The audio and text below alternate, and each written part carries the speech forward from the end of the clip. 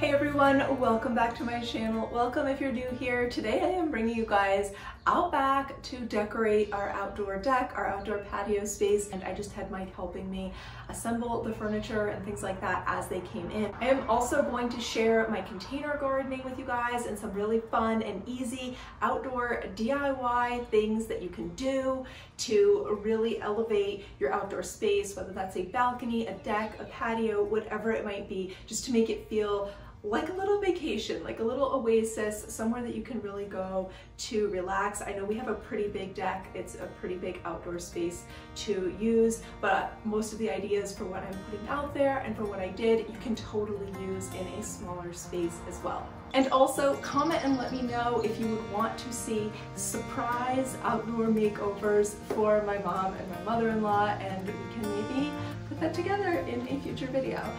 For our dining set, we spent less than half of what we expected to spend and I absolutely love how it came together. We actually went with two tables instead of one long one, but because the wood slats all go the same way and the edges are perfectly square and even, you can push these two tables together and they look like one long table. You can barely tell that it's two separate tables. But then if we have a party or anything out here and we need to separate them and maybe create a food table, a dining table, whatever, we can move the two tables around very easily. And then we are about an hour outside of New York City and we do get a good bit of rain here and more often than not, our seat cushions would be soaked every time we tried to come outside to eat during the summer, which was really a bummer. So I decided on these chairs, which first of all, I love the design of, but they are also a really durable plastic, but they are still a little bit bendable. So when you sit back against the seat, it actually can recline like slightly. It has a little bit of bend and give to it.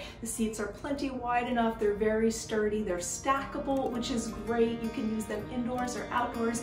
I got them in white, but they actually have them in black and white, and I just love them. After having them for about a month or so, I honestly cannot find a single bad thing to say about them. I'm also excited to be adding an outdoor mat this year. It looks like a rug, but it's actually a plastic mat that will not hold water because I definitely don't want to cause any rotting or decay on the wooden deck by keeping it wet under a rug for long periods. But this one allows airflow and dries out quickly, and I love how it provides a grounded and centered look and it just really creates a living space outdoors.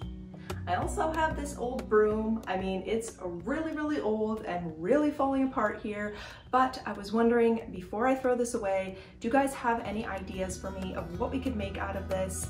Comment and let me know your thoughts.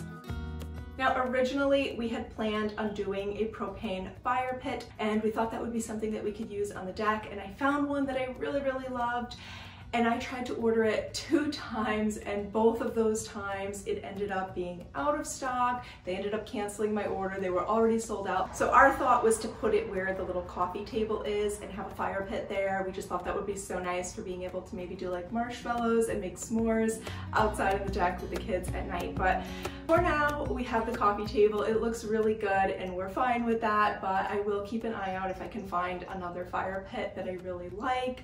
Um, I just loved so many features about this particular one. So if I can get it, I will definitely link it. Everything is actually going to be linked on my website, stylemysweets.com, on the blog post for my deck makeover. So you can be sure to check that out. The link will be down below. And now the wooden frame at the end of the deck was something my dad had. It's another piece of trash to treasure, you could say. I'm not sure quite what is this. I think it might be a bed frame or something. Honestly, I have no idea. What I'm hoping to do is be able to use it like a trellis for my cucumbers and maybe for my zucchini plants, although I did order two beautiful metal trellises before I found this one, which have not come in yet. Shipping has been so delayed. So if I can get this to work, that will be awesome, but if not, I might have to switch it out and use the metal ones that I have already on order. Let me know what you think. Do you think this is going to work as a trellis or not? So I decided to switch my smaller three tomato plants into this huge fabric planter over here so they will have more room to grow. I also have fabric pots like this for my lettuce.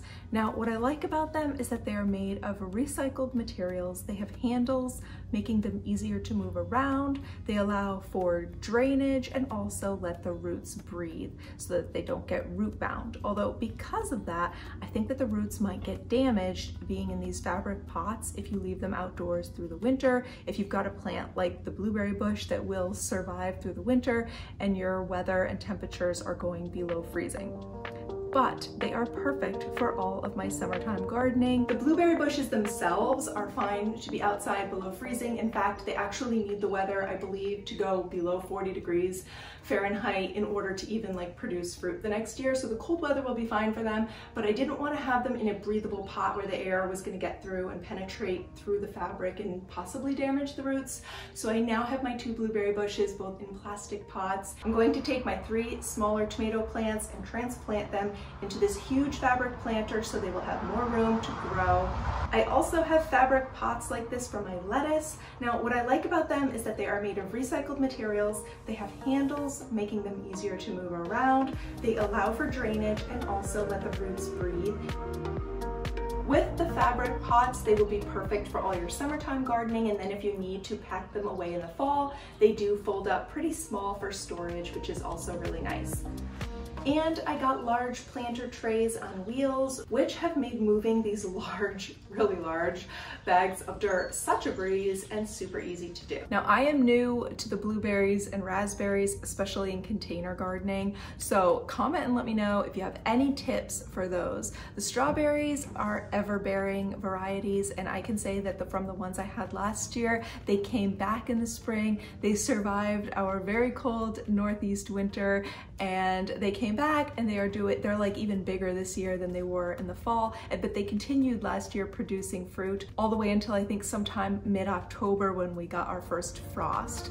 So they produced fruit for a long time. And this cute pot I'm using to store my fertilizer and cottonseed meal for my blueberries. I actually made this from a popcorn can that was left over after Christmas time all I did was completely wrap and cover the design on this can with some nautical rope and it already came with these really nice sturdy handles which is so perfect. You could even maybe repurpose a popcorn tin like this into a beautiful decorative planter or plant holder as well.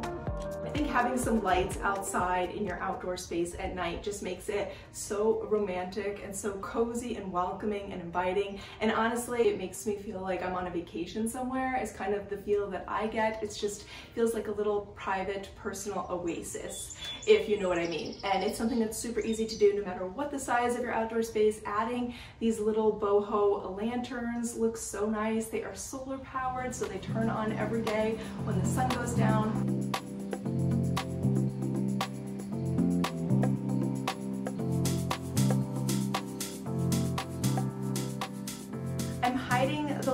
Solar panel pieces in my planters here and then using outdoor command hooks that are made for lights to string up my twinkle lights. These are perfect for holding your outdoor Christmas and holiday lights as well, but you actually only need a couple little clips just to hold the light strand in place. This was super easy to do and I love how pretty it looks at night. I even took the leftover lights and strung them around the trunk of my hibiscus tree here. This is so cozy and romantic and it just looks so inviting that I just love to be out here in this space.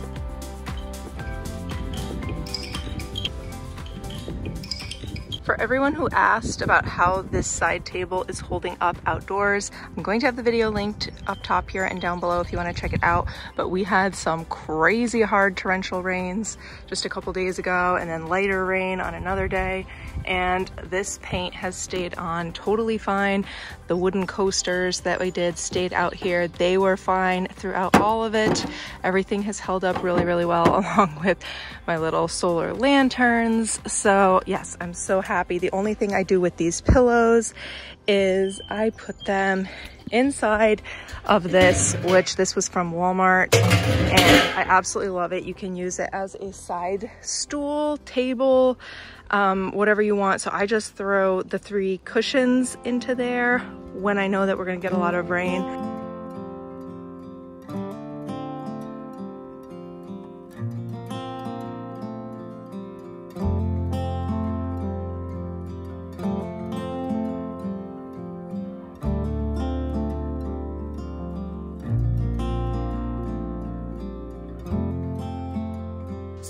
To have everything I used linked on my blog for my outdoor makeover and gardening supplies, and the link for that will be in the description box down below, but the website is just stylemysweets.com so you can find everything there. Please give this video a thumbs up if you enjoyed. As always, thank you so, so much for watching. I wish you a beautiful and blessed day, and I will see you guys soon in the next one. Bye!